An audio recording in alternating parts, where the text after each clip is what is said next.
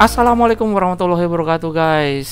Terima kasih udah klik video ini. Kembali lagi di channel Eri Okto bersama saya Eri. Guys, pernah ngerasain nggak nggak bisa browsing komputer lain di jaringan lokal? Atau mungkin tampil tapi nggak semuanya tampil guys? Untuk kamu yang masih ngerasa kayak gitu Mungkin kamu bisa nonton video ini nih Ya.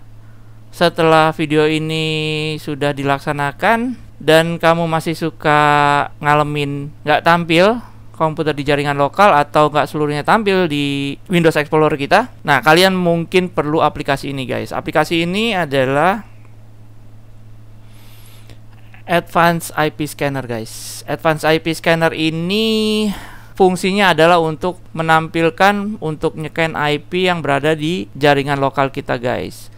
Jadi, kita bisa masukin IP kita ini dengan anggapan bahwa kita sudah mengetahui IP di lokal kita ya. Subnet berapa? IP-nya kita bisa scan. Atau kalau kamu belum tahu caranya gampang. Tinggal lihat aja di network kamu sini. Klik kanan open network. Ini bisa berupa kabel seperti saya ini atau berupa wifi ya guys. Sama aja kita masuk ke change adapter option Kemudian kalau WiFi di sini mungkin akan tampil WiFi, kalau kabel mungkin akan tampil seperti ini. Kita lihat di status. Nah, di sini kita bisa lihat di details IP jaringan kita itu berapa. Seperti yang terlihat di sini, saya memakai 192.168.1.3 IP saya. Jadi kita udah tahu yang penting ini yang tiga tiga bagian ini ya 192.168.1. Nah, berarti kita tinggal masukkan ke Advanced IP Scanner ini 192.168.1.1 sampai 254. Kalau misalkan di jaringan lokal kalian itu 168.0.1 ya masukin aja kayak gitu ya. Oke, sebelum kamu memakai aplikasinya kamu mungkin belum punya, kamu gampang aja tinggal download di Advanced IP Scanner kita langsung ketik bisa atau kita pakai Google juga bisa. Jadi tinggal pilihan kamu aja mau ke mana ya. Nih saya langsung gini dia langsung nawarin begini. Masuk ke Google ya. Kita klik langsung kita download. Kemudian setelah kita download kita install. Petunjuknya tinggal diikutin aja tinggal klik klik klik akan tampil seperti ini. Oke sekarang kita coba aplikasinya. Gimana caranya? Kita scan di sini klik ya. Kalau ini udah kita masukin, kemudian kita scan. Klik. Nah, di sini ada progress barnya. Persentase udah berapa persen? Nanti yang ketemu berapa, yang mati berapa, yang anon berapa. Tapi di sini saya hanya menampilkan yang live aja yang hidup yang aktif sekarang ya alat-alatnya entah itu komputer, printer, apalagi NAS, pokoknya macam-macam yang terhubung dengan jaringan kita ya. Kalau lewat Windows Explorer kita tampilkan di sini kan yang tampil hanya komputer atau NAS ya. Pokoknya yang berhubungan-hubungan dengan storage mungkin itu akan tampil. Kalau alat yang lain nggak tampil guys, apalagi di sini saya sebenarnya di sini ada sekitar 4 ya komputer yang lagi aktif dan yang tampil cuma dua itu bisa jadi karena ada satu laptop yang belum di share uh, ininya apa folder ya. Kita harus men-share minimal satu folder untuk tampil di jaringan network ini. Oke sekarang kita kembali lagi ke advanced IP scanner. Masih 70% dan di sini progress barnya terus berjalan warna hijau ini ya. Nah di sini kita bisa lihat ada pertama 1.1 ini router karena saya bisa notice dari merek dari manufakturnya Fiber Home Telecommunication Technology. Ini Fiber Home router saya itu. Kemudian di sini ada TP-Link. Ini kemungkinan uh, router kedua saya yang ada di lantai atas. Nah, ini adalah PC saya, Gigabyte Teknologi manufakturnya. Kemudian di sini ada beberapa yang tidak terdeteksi ya. Ini, ini kemungkinan besar sih handphone setelah router. Kemudian mungkin ada printer dan saya ini nggak pakai printer jadi nggak ada printer. Nah kalian bisa ngenalin juga mungkin dari sini Shenzhen ya. Di sini Western Digital ini adalah NAS saya nah ini NAS bisa kelihatan tampilan-tampilannya. Jadi kalau misalkan yang ada tanda panah segitiga begini ini bisa dilihat di dalam service aja apa saja yang sedang berjalan. Kemudian ini Guangdong Telecommunication Telecommunication ya berarti mungkin uh, handphone ya Oppo Mobile. Nah, ini ada Oppo Mobile di sini. Oppo Mobile berarti ini handphone. Di sini ada Eri NB. Ya, Eri NB ini laptop. Kemudian ada ini desktop UG2 apa. Nah, ini uh, manufakturnya juga sama High Precision. Ini ada dua laptop Dell. Kita lihat ini udah 99 99%, 12 live jadi 12 yang on, 2 dead, 2 yang udah pernah di-scan tapi yang sekarang lagi offline, 240 anon. Anon ini yang tidak terdeteksi IP-nya kita bisa lanjut berarti aplikasi ini sudah bisa menampilkan seluruh yang ada di jaringan kita seluruh alat seluruh gadget ya yang ada di jaringan kita guys kita sekarang akan coba masuk ke Explorer lagi di sini cuma ada dua guys ya yang satu itu NAS kemudian yang satu itu yang laptop Dell ke mana yang lainnya oke kita lihat RNB itu di Explorer itu tidak nongol kita coba di dalam ini ada service admin. Nah, kelebihan dari Advanced IP Scanner ini kita bisa masuk melalui service-service yang aktif di komputer yang kita tuju. Kayak ini admin, admin, oke. Okay. Dan ini NAS, seperti yang sebut saya sebut tadi ini adalah NAS. Kemudian saya bisa klik langsung di sini. Arahnya akan sama. Menuju ke sini. Dan dia masuk berdasarkan IP guys, 17 di sini, ya. Kalau kita lewat sini, network kita klik Eric Cloud Nah, dari yang sebelum masalah yang sebelumnya saya temui, folder di sini ayah, bunda dan lain-lain itu akan tampil, tapi ada kalanya tampil seperti ini aja, guys. Kalau kita klik ini nggak bisa masuk ke NAS-nya. Nah, salah satu cara yang saya lakukan adalah melalui Advanced IP Scanner ini, biar nggak repot-repot, guys. Kita klik dua kali, ayah, dia langsung masuk dengan IP ke explorernya ini sama persis dengan uh, NAS ini uh, ini adalah folder-folder di dalam NAS ini ada folder saya di dalamnya. Oke.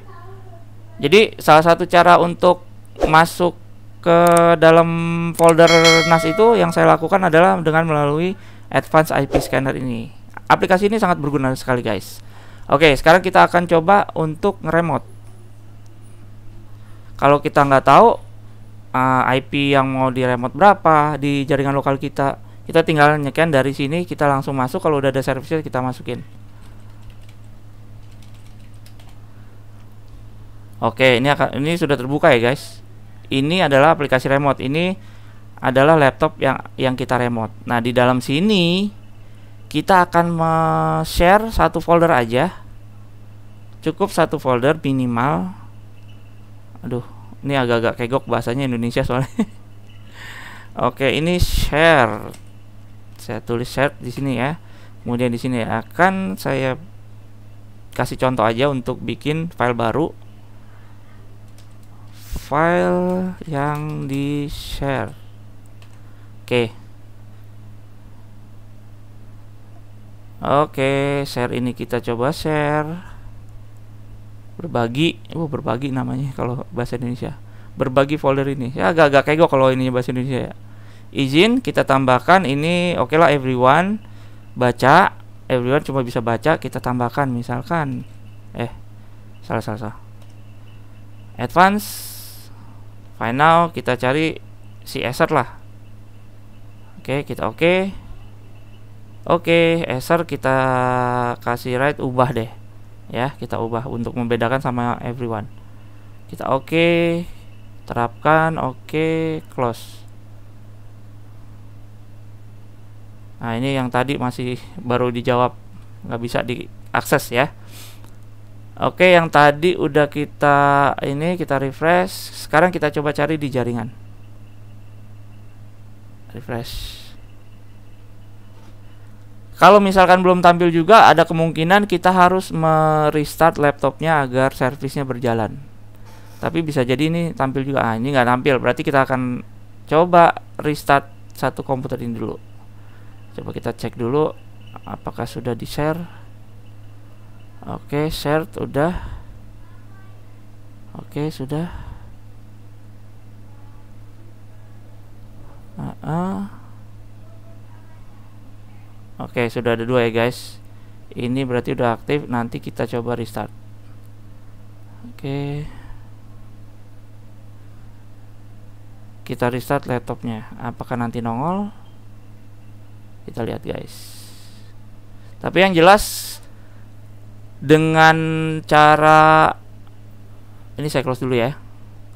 Dengan cara memasuki Windows Explorer aja kita masih ter sangat terbatas ya untuk menampilkan apalagi untuk meremot belum bisa menampilkan alat-alat di Windows Explorer ini. Tapi kalau dengan aplikasi ini semua akan tampil guys. Oh ya untuk program remote ini kita juga perlu menginstalnya ya guys ya. Cuman untuk program ini sayangnya berbayar. Tapi kalian bisa dapetin program ini tanda kutip gratis kalau kalian searching-searching lah ya kan yang ada jamunya. Udah tau lah orang-orang yang ada di Indonesia mah yang namanya krek-krekan ya. Saya nggak sangat saya nggak saranin cuman ya teman-teman boleh ya duit your own risk lah untuk cari program-program krekan ya. Itu bisa dicari teman-teman bisa cari sendiri. Oke sekarang kita coba tampilkan apakah RINB tadi sudah nongol. Mungkin masih proses restart juga. Saya akan cek langsung dari remote ini. Saya langsung buka adminnya ya di sini udah saya ini. Nah ini udah nongol. Sekarang kita akan coba dari scannernya. Oh ini udah nongol guys. Jadi setelah kita bikin folder baru untuk di share minimal satu komputer kita akan langsung tampil. Komputer yang akan kita remote ya yang akan kita masuk itu sudah tampil jika sudah ditambahkan satu folder dan kemudian di restart guys. Oke ini tampil. Saya coba klik. Sebagai tambahan aja guys kalau misalkan kalian sudah tahu IP yang dituju kalau misalkan kalian klik ini tadi yang keluar kan NFS aja ya slash NFS kita nggak bisa masuk ke folder-foldernya ini ini saya biarkan aja begitu yang saya akan buka yang baru explorer baru nah sebagai tambahan aja kalian bisa ngeklik IP-nya langsung di sini.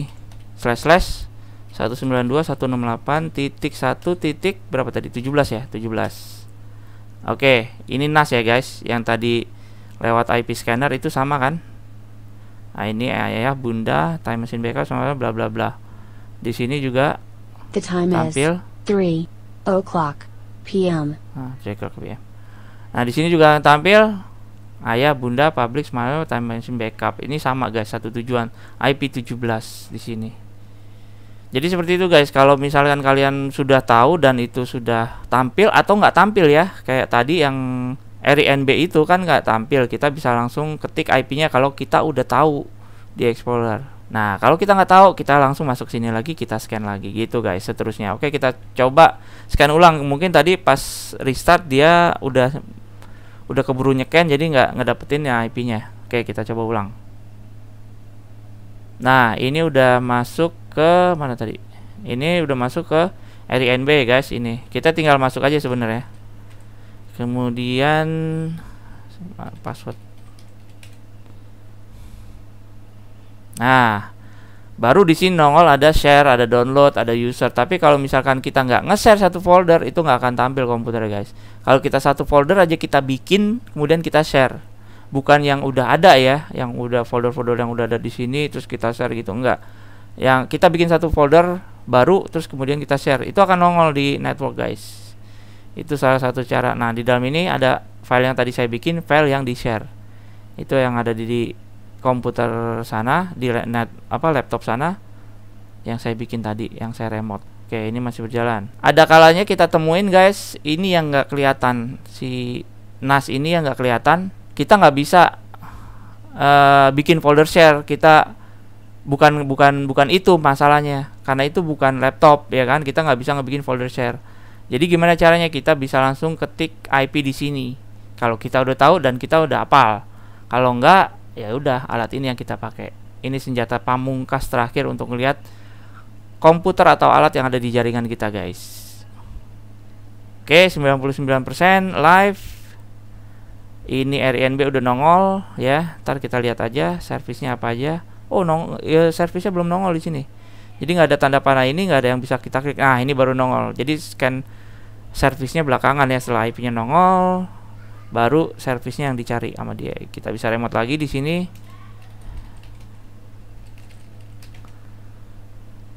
Dan komputer pun komputer tujuan sudah bisa di remote kembali guys. Oke. Ini dia masuk. Setelah kita restart oke kita bisa masuk sini. Dan kita bisa ngeremote ya guys. Jadi apa pun yang kita lakukan di jaringan lokal bisa dilakukan di Advanced IP Scanner ini. Kita bisa cari tahu IP kita berapa, IP laptop ini berapa, alat ini IP-nya berapa, itu semua ada di Advanced IP Scanner. Kemudian kita bisa lihat yang nggak nongol di network sini ya kan? Yang nggak bisa nongol di sini kita bisa lihat juga di advanced IP scanner guys. Apalagi di dalam advanced IP scanner itu sudah terintegrasi Radmin Telnet bla bla bla. Yang lain ini ada nih sebenarnya. Kayak kita klik di sini ya ini aktif. Nah ini explore. Kayak gini explore ini misalkan explore ini. Kemudian ini kalau misalkan fasilitas HTTP-nya aktif. Seperti router misalkan router ini HTTP-nya aktif. Nah ini bisa kita langsung klik di sini. Nah, langsung masuk. Kemudian selanjutnya juga seperti itu ya guys ya. Ini ada RDP, ini FTP. Nah, kalau misalkan di IP tujuan itu folder FTP aktif, service FTP aktif, kita bisa melakukan file transfer protokol seperti yang ada di NAS saya ini FTP-nya aktif. Nah, kita langsung masuk ke browser karena kita karena saya tidak ada aplikasi FTP karena saya belum memerlukan aplikasi FTP. Oke, kita bisa pakai ini masuk, kita bisa masuk ke FTP-nya NAS yang berada di NAS saya. Oke, udah seperti itu. Semua udah dijelasin, semua udah diterangkan. Mudah-mudahan semua mendapatkan gambarannya. Mudah-mudahan semua jelas dari video ini. Tapi kalau ada yang nggak jelas, kalian bisa diskusikan seperti biasa di komen di bawah ya guys, di bawah video ini. Dan jangan lupa dukung saya terus. Bagikan video ini jika bermanfaat ke teman-teman kalian. Kemudian komen, like, dan yang belum subscribe silahkan subscribe untuk membuat saya semangat untuk membuat video-video seperti ini guys. Oke, sampai ketemu di video-video selanjutnya dan sampai jumpa. Assalamualaikum warahmatullahi wabarakatuh.